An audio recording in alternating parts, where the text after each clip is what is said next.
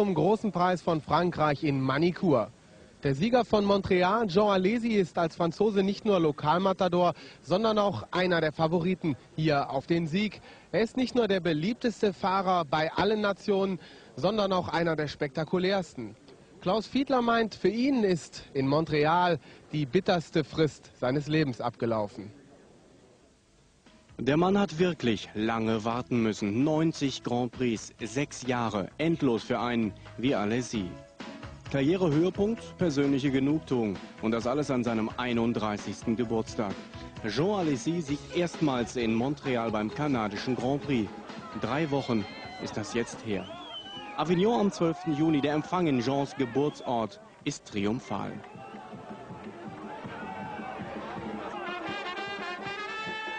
Jean Alesi ist Volksheld, ein Mann, mit dem die Fans immer mitgelitten haben. Alesi endlich mal einer, der auch genießen kann. Ich bin ein Kind dieses Landes und unheimlich stolz auf diesen Empfang und freue mich natürlich riesig, mit meinen Freunden hier feiern zu dürfen. Und heute erneut ein Heimspiel. Der Grand Prix von Frankreich sieht einen gelösten Alessi, locker fast und unendlich erleichtert. On parle français nach Monaco und Montreal ruhen auf Jean zum dritten Mal in Folge die Hoffnungen aller Franzosen.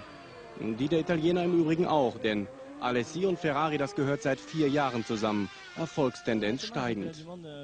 Die Vorentscheidung um die Weltmeisterschaft ist überhaupt noch nicht gefallen. Der Dreikampf zwischen Williams, Benetton und uns wird spannend bleiben. Nur konzentrierte Detailarbeit wird dich am Ende nach vorne bringen.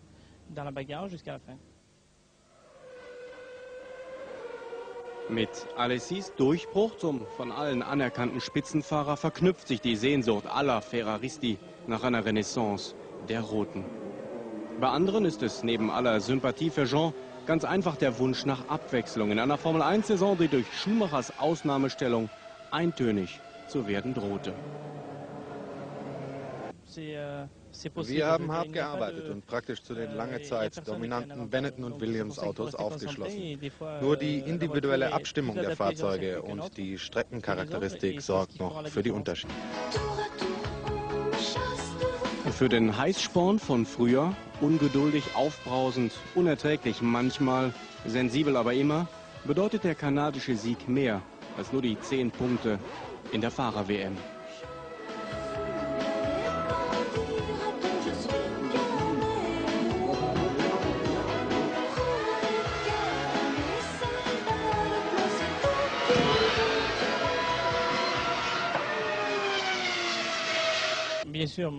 Na klar, bei Ferrari hat man sich sehr über meinen Sieg gefreut und dadurch ist uns allen eine Menge Druck genommen worden. Thermische Probleme seines 12-Zylinder-Kraftwerks beraubten Alessi hier in Manicur aller Träume von der Pole. Startplatz 4 gleich im Rennen, aber der Mann, das wissen wir seit Montreal, der kann ja warten. Ein Franzose in Frankreich, da kann die Stimmung eigentlich gar nicht besser sein. Dabei ist Manicur eher ein kleines, beschauliches Dorf. Nur einmal ist so richtig was los, nämlich dann, wenn die Formel-1-Motoren röhren. Ansonsten steht die schöne Loire im Mittelpunkt. Der letzte große Wildwasserfluss Westeuropas. Das Val de Loire prägt das Gesicht Zentralfrankreichs. La Douce France, das süße, das romantische Frankreich der Schlösser und der weitgehend intakten Natur.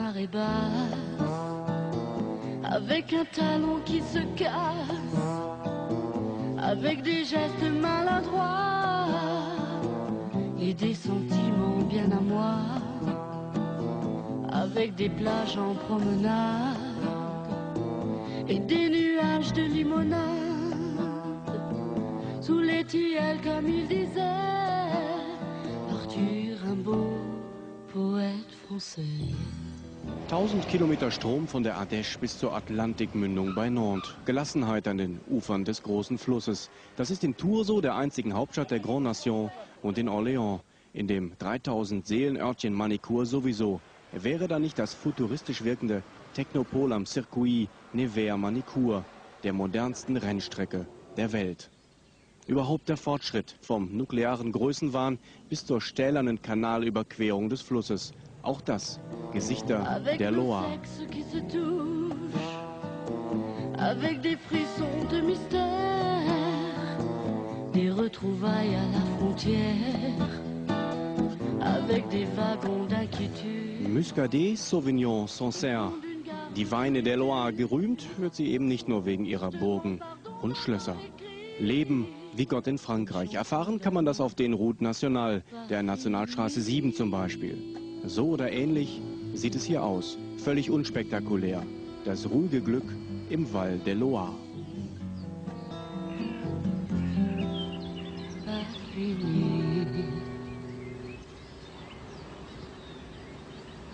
Für die Schönheit des Landes haben die Piloten hier überhaupt keine Augen, denn sie konzentrieren sich auf ihren Job auf der Rennstrecke. Die Strecke vorstellen, das kennen sie schon, das ist Standard bei uns und das macht niemand anderes als der Weltmeister. So, wir starten jetzt die Qualifikationsrunde. Rausbeschleunigen im ersten Gang, hochbeschleunigen bis zum fünften Gang, dann in eine Vollgas-Linkspassage.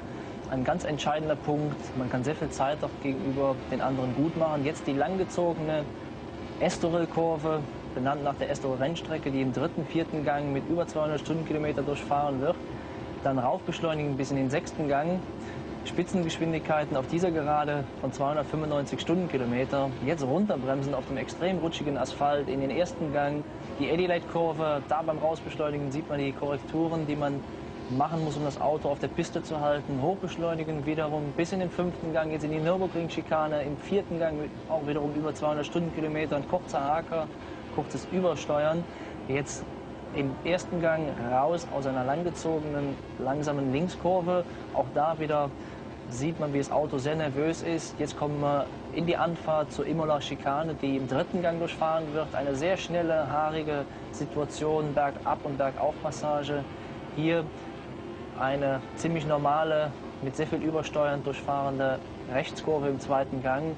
Jetzt Anfahrt zur letzten Schikane vor Startenziel, die im zweiten Gang durchfahren wird. Nochmal kurz hochbeschleunigen, runter in den ersten Gang und jetzt wieder bei Startenziel, wo es extrem rutschig ist. Das war eine Qualifikationsrunde auf dem Parcours in Magnicourt, der alles in allem sehr rutschig und auch sehr schwierig zu fahren ist. Sie werden es jetzt etwas leichter haben, denn wir kommen zu unserem Formel 1 Quiz und wir bleiben auch gleich hier in Manicourt. Und es geht auch noch um einen Herrn, der in der Vergangenheit mindestens so beliebt war wie Jean Alesi. Und täglich grüßt das Murmeltier. Diese putzigen Zeitgenossen waren die Lösung unserer letzten Quizaufgabe. Vor ihnen zittern die Fahrer jedes Jahr in Kanada. Dies wusste Konrad Loh, Dübener Straße 4 in 04860 Torgau. Er gewinnt zwei VIP-Karten für den Hockenheim Grand Prix. Und nun unsere neue Frage. Dieser rasante Pilot gab im vergangenen Jahr in Frankreich sein allerdings glückloses Comeback in der Formel 1. Wer ist es? Noch einmal die Frage, welcher Fahrer musste 1994 in Manicourt vorzeitig aufgeben? Zu gewinnen gibt es wieder zwei VIP-Karten für den Grand Prix von Deutschland am 30. Juli auf dem Hockenheimring. Um diesen Preis wird sie jeder beneiden. Wenn Sie die richtige Lösung kennen, rufen Sie uns an unter 0190 329 222. Alles rund um das Quiz erfahren Sie auch auf Seite 447 im RTL-Text. Viel Glück beim Raten. Viel Glück hat bislang auch immer das Williams-Team hier in Manicourt gehabt. Es gab in den letzten vier Jahren vier Siege. Damon Hill hat hier seine allererste Pole Position gefahren und ist auch diesmal zu den Favoriten zu zählen. Die Freude über die Pole Position ist nur von kurzer Dauer. Die Unsicherheit geht um im Williams-Lager. Der Brite ist missmutig, schlecht gelaunt und zeigt das auch deutlich.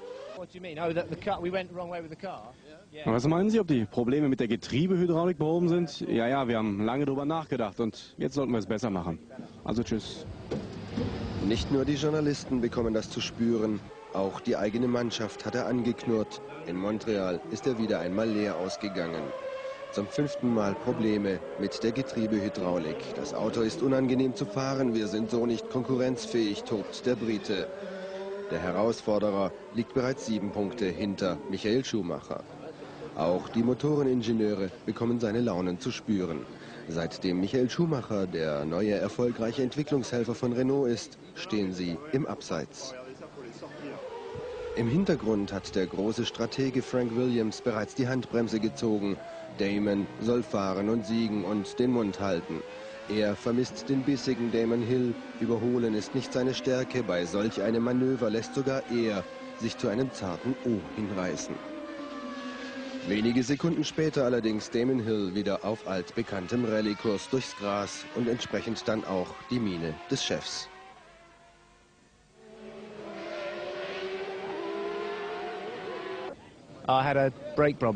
Ich hatte Bremsenprobleme und dann war was mit der Pumpe. Also gestern war es wirklich wieder ziemlich schlimm. Schulterzucken bei den Mechanikern. Was ist bloß los mit dem Williams Kraftpaket? Stinksauer wandert Hill zurück zur Box. Wenn es so weitergeht, habe ich keine Chance, wettert er zum wiederholten Mal. Doch Frank Williams ist da anderer Meinung. Er unterhält sich lieber mit denen, die Hill sonst meidet, den Motoreningenieuren. Kritik an Wagen, Motor und Team stößt bei Williams immer bitter auf. Seit den Wortgefechten scheinen da eher die Tage von Damon Hill bei Williams gezählt. Die rasante Jagd gegen Michael Schumacher um die Pole Position lindert hier in Frankreich ein wenig den Groll beider Seiten. Doch diese zählt letztendlich höchstens im privaten Sammelalbum. Punkte gibt's nur im Rennen. Ein Formel-1-Fahrer kehrt nach zwei Rennen Pause wieder an die Rennstrecke zurück. Karl Wendlinger. Allerdings wird der Österreicher nicht mehr in den Sauber fortklettern, sondern er fährt beim Porsche Cup die Höhepunkte zusammengestellt von Klaus Fiedler. Startplatz 9 erfuhr sich auf Anhieb Karl Wendlinger im RTL VIP Carrera, dem Wagen, der ja am Ende des Jahres zugunsten der Weltkinderhilfe versteigert wird. Ganz im Zeichen der französischen Porsche-Piloten aber sollte der vierte Lauf zum Supercup stehen. Auch wenn der Holländer Patrick Rüßmann im weißen Auto mit der Startnummer 7 direkt nach dem Start die Meute anführt. 310 PS leistet ein Cup Carrera. Getriebeabstufung hier in Manicur erlaubt Höchstgeschwindigkeiten von 275. 0 auf 100 4,7 Sekunden. Weitgehend seriennahe Autos also. Getankt wird demzufolge super bleifrei. Der schwarze Carrera mit Jürgen von Garzen verfolgt von Jean-Pierre Jaillet. Die beiden lieferten sich rundenlange Positionskämpfe um die Plätze 6 und 7. Souverän in Führung mittlerweile Christophe Bouchou, der französische Carrera-Cup-Sieger. Gastfahrer auch er für RTL und die UNESCO. Der Holländer Huismann aber fällt noch weiter zurück. Routinier Jean-Pierre Malchet jetzt auf zwei und auch Emmanuel Collard drängt mit seinem Benetton Carrera. Der Mann ist schließlich Testfahrer bei Briatore. Intensive Fahrerlebnisse mit dem Sechszylinder-Boxer vermitteln im Feld der 21 weiterhin, vor allem die Sportfreunde Jaillet von Garzen, Malchet und Collard. Zentimetergenaues Fahren, Präzision, wie man sie sonst aus anderen Tourenwagenklassen so nicht kennt. 180.000 Mark kostet im Übrigen ein Supercup Porsche. Christoph Bouchou, der Leader, aber denkt weder an Preislisten noch an Sonderausstattung. Gut drei Sekunden Vorsprung, als es jetzt zum vorletzten Mal runtergeht zu Start und Ziel. Und während sich Jürgen von Garzen nach drei zweiten Plätzen jetzt schon mal auf Platz 6 einstellt, recken Peter Sauber und Co. die Hälse. Karl Wendlinger hält sich nämlich auch im Rennen als Zehnter. Christoph Bouchou aber siegt für Frankreichs Carrera-Ehre vor allem. Malchet und Collard komplettieren den französischen Dreifacherfolg. Natürlich gibt es gleich auch noch das Neueste von Michael Schumacher und Heinz-Harald Frenzen, aber zuvor machen wir eine kleine Pause und geben mal ganz kurz zurück nach Köln. Genauer gesagt im RTL Ü-Wagen. Hier ist das Herz unserer Formel-1-Übertragung. Von hier aus gelangen die Bilder nach Deutschland. Für Heinz-Harald Frenzen ist es seit Wochen eigentlich immer dasselbe. Frust total im sauber Ford-Team, speziell in den Trainingssitzungen, volle Pulle für zwölfte Plätze. Eigentlich geht es für Frenzen nur noch um die Vereinsmeisterschaft im eigenen Team. Florian König über eine neue Folge aus dem Innenleben bei Sauber. Ein typisches Bild für die Saison des Heinz-Harald Frenzen. Erschöpfung, Hingabe, Einsatz, alles hilft, zumindest im Training nichts. Die Top-Teams sind pro Runde immer noch gut drei Sekunden schneller. Die Veränderungen am Sauber C14 haben nur bewirkt, dass man später überrundet wird. Also orientiert sich Frenzen am einzigen Kontrahenten, mit dem er sich wirklich messen kann, am Teamkollegen Jean-Christophe Bouillon. Die beiden fahren praktisch ihr eigenes Rennen. Jeder spürt die gespannte Atmosphäre, Kommunikation findet kaum statt. Ja, er redet eigentlich äh, sehr wenig und äh, anscheinend ist er voll konzentriert auf das, was er macht und da sagt er einfach nicht viel. Ne? Der Williams-Testfahrer wurde, und das macht die Sache bekannt, an Sauber ausgeliehen. Teamchef Frank Williams erhofft sich durch den Vergleich mit Bouillon eine Einschätzung der wirklichen Stärke von Frenzen. Er war ja in äh, Barcelona oder bei diversen anderen Testfahrten ja schon sehr schnell gewesen, zum Teil genauso schnell wie, wie Damon Hill und äh, Coulthard. Und äh, er kann wahrscheinlich dann äh, die, die, das Talent von Bouillon oder seine Schnelligkeit mit dem von, von deren Stammfahrer vergleichen. Und wenn er jetzt äh, bei mir hier oder bei uns im Team fährt, haben wir da einen direkten Vergleich, ne? zumindest für Williams.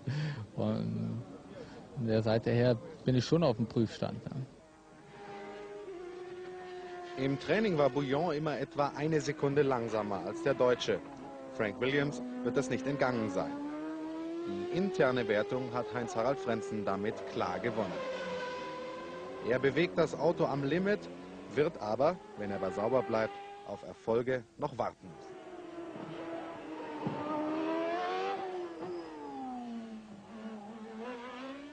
Am Arbeitseifer liegt es nicht. Die Schweizer tun alles, proben und testen bis in den späten Abend. Nur die Fortschritte sind zu minimal. So bleibt das Dilemma. Frenzen ist einer der schnellsten Fahrer, sitzt aber in einem Mittelklassewagen.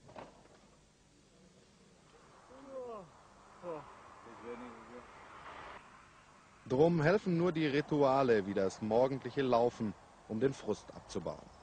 Mit Fitnesstrainer Karl Fresner hält er sich in Form und bei Laune. Und ein bisschen Hoffnung bleibt immer. Aber auf jeden Fall sind wir im Rennen immer viel wesentlich stärker als im Qualifying und äh, sind immer ziemlich nah an den Punkten gewesen, wie auch in Kanada. Und ich hoffe, dass es wieder so, so wird wie beim letzten Rennen, dass wir also um die Punkte kämpfen können. Wenn nicht, wird die Unzufriedenheit bei Frenzen sicher steigen. Zu lange jedenfalls sollte man ihn bei Sauber nicht auf Erfolge warten lassen. Im letzten Jahr ist Heinz-Harald Frenzen hier in Manikur auf den vierten Platz gefahren. Das beste Resultat seiner Karriere bisher. Millionen sitzen an dem Bildschirm, wenn die Formel 1 übertragen wird. Ein ungeheurer Aufwand. Kabeln, Satelliten, Kameras müssen alle 14 Tage in ein anderes Land. Klaus Fiedler fasst ein Rennwochenende im Zeitraffer zusammen.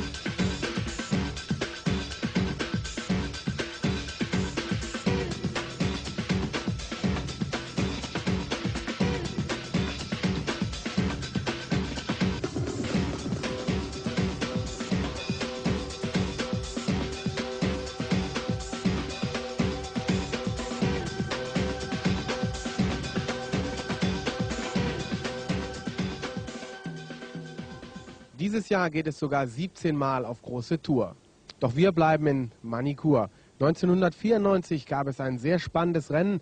Thomas Sossner beginnt seinen Rückblick mit einem neuen alten Bekannten. Weil mit den Seriensiegen des Michael Schumacher Langeweile drohte, wurde ein Hoffnungsträger gesucht und gefunden. Nigel Mansell kehrte für ein Gastspiel in die Formel 1 zurück. Im Rennen kam für den Briten das Technische aus. Im Training hatte Menzel jedoch bewiesen, dass er nichts von seinem Können verloren hatte. Startposition 2 hinter seinem Teamkollegen Damon Hill. Den besten Start hatte jedoch Michael Schumacher. Hinter Hill und Menzel dann Jean Alesi und Gerhard Berger. Für einen der Ferrari gab es allerdings auch ein vorzeitiges Ende. Als Jean Alesi nach einem Dreher sein Auto wieder in Fahrtrichtung brachte, übersah er Rubens Barrichello. Eine Kollision, von der Heinz-Harald Frenzen profitierte. Der Deutsche fuhr auf einen hervorragenden vierten Rang. Ich freue mich wirklich riesig für das Team, dass Andrea auch Punkte geholt hat und dass wir einen guten Schritt nach vorne gemacht haben. Ganz vorne fuhr jedoch nur einer. Michael Schumacher feierte im siebten Rennen der Saison seinen sechsten Sieg.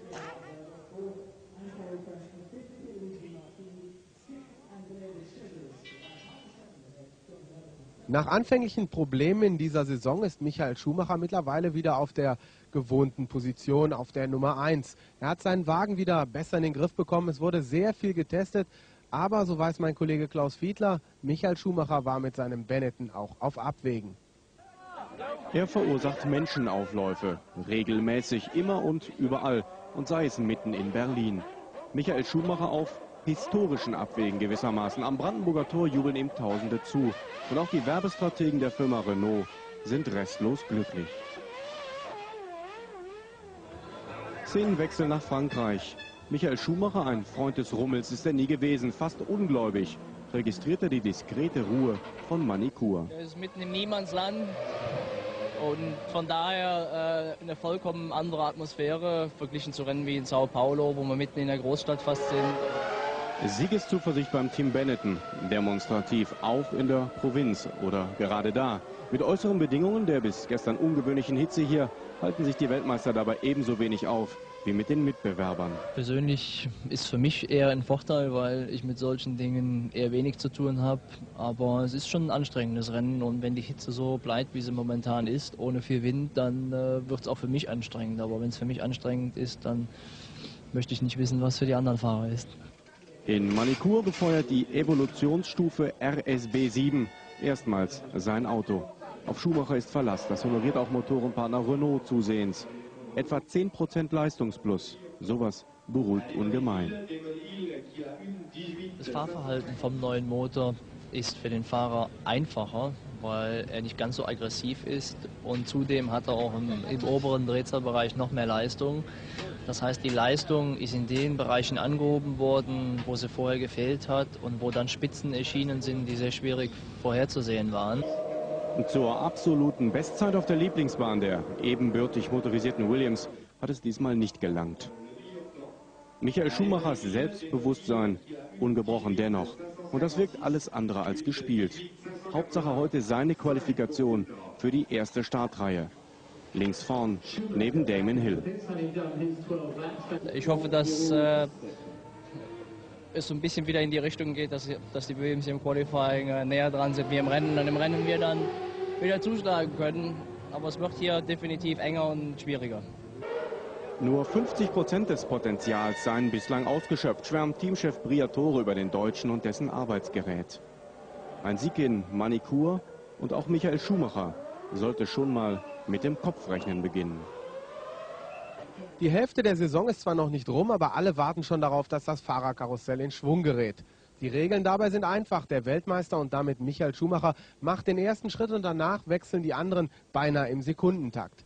Niki Lauda in seinem Kommentar über den Marktwert von Michael Schumacher. Also für mich persönlich ist der Michael Schumacher der schnellste Mann der Formel 1. Ich würde sogar sagen, dass er heute drei bis vier Zehntel pro Runde schneller ist wie jeder andere, der hier mitfährt. Deswegen ist er heute in einer Situation, wo er sich eigentlich aussuchen kann, wo er im nächsten Jahr fahren wird. Nur eines muss sich Michael oder beziehungsweise sein Manager bewusst werden. Das Geld, was sie verlangen im Moment, was man zumindest in der Zeitung liest, ist wahnsinnig hoch. Und eines muss schon klar sein. Ein Fahrer kann nie so viel Geld verlangen, dass da nichts mehr für das Auto und für das Team überbleibt. Die Formel 1 Budgets werden gemacht, damit gescheite Rennautos gebaut werden mit den richtigen Motoren und dem richtigen Getriebe. Und dann wird der Fahrer dazugesetzt. Und das alles muss im Verhältnis bleiben. Und sollte der Fahrer zu viel Geld verlangen, bleibt zu wenig über fürs Team und dann werden die Resultate sicher nicht kommen. Es dauert nicht mehr lange, dann beginnt der große Preis von Frankreich. Vorher noch einige Beobachtungen am Rande über Frauen, Fotos und Pferde, zusammengestellt im PS-Geflüster. Der Sicherheitsdienst in Manikur sieht übrigens so aus.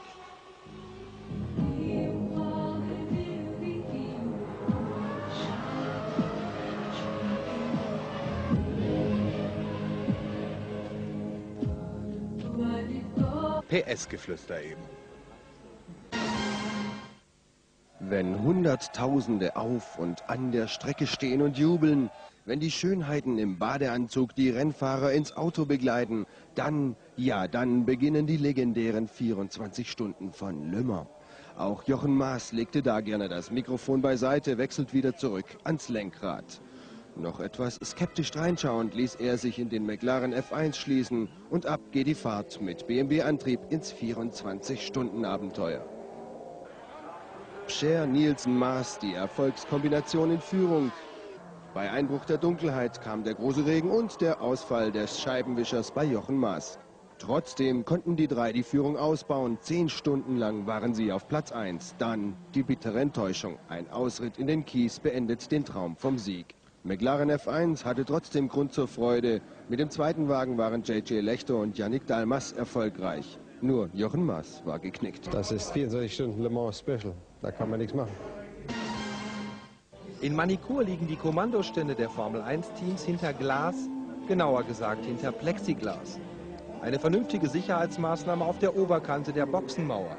Denn ausgangs der letzten Kurve hat es in der Vergangenheit öfters gekracht. Für die Formel 1-Fotografen lohnt sich die Suche nach guten Kamerapositionen neuerdings doppelt. Erstmals richtet ein Sponsor regelmäßig Fotowettbewerbe aus. Erster Sieger und mit einem Einkaufsgutschein ausgestattet, der Schweizer Daniel Reinhardt. Schlechte Karten für das Minardi-Team. Der Staatsanwalt versiegelte Trucks, Boxen und Rennwagen. Ein Rachefeldzug des Formel-1-Paten Flavio Briatore. Minardi hat vor zwei Monaten gegen ihn Anklage erhoben, da er ihnen den Motorenpartner Mugen Honda für sein Team abgeluchst hatte. Jetzt fand Briatore eine offene Rechnung und ließ den Rennstall bis Samstag schließen. Neben Benetton gehört Briatore Ligier zu 100 Prozent. Seine Mannschaft blüht als einziges französisches Team in Manicourt so richtig auf. Fahrer Olivier Panis fand sich zeitweilig sogar auf der Pole Position, startet jetzt von sechster Stelle aus. Kein Wunder bei diesem Jubiläum. Ligier feiert den 300. Grand Prix und ist wie eigentlich immer in Manikur sehr, sehr stark. Deswegen die Frage an Jochen Maas in der Kommentatorenkabine, was bedeutet eigentlich ein sogenannter Heimvorteil? Heimvorteil bedeutet, dass die Teams Anfang der Saison eine Strecke angeben müssen, auf der man hauptsächlich testet. Und das Ligier-Team hat diese Strecke praktisch exklusiv für sich gebucht. Sie sind hier auf diesem Gelände beheimatet und haben natürlich dadurch alle möglichen Vorteile. Letzte Woche zum Beispiel waren sie drei Tage hier intensiv testen und haben damit natürlich für das Rennen die besten Karten. Doch diese Karten wurden heute Morgen neu gemischt, obwohl man bei Ligier hier auf dieser Strecke wirklich jeden Bordstein und jede Kurve aus dem FF kennt. Aber man kennt es halt nur im Trockenen. Und heute Morgen hat es hier geschüttet wie aus Eimern. Eine Gewitterfront, die seit gestern Abend hier hereinzubrechen drohte, war heute Morgen endlich da. Demzufolge im Warm-up einige Leute auf Abwägen. Es traf auch die Stars, es traf auch die erste Startreihe. Zunächst Damon Hill draußen und wenig später dann auch Michael Schumacher auf Abwägen. Aber es ging gut und es wurde auch nicht viel an den Fahrzeugen verändert, denn man spekulierte auf Wetterbesserung, die dann auch prompt eintrat. Und alle Teams und natürlich auch wir beide hier oben in der Kommentatorenkabine hoffen auf ein trockenes Rennen. Es sieht auch ganz danach aus. In wenigen Minuten geht's los. Bleiben Sie dran.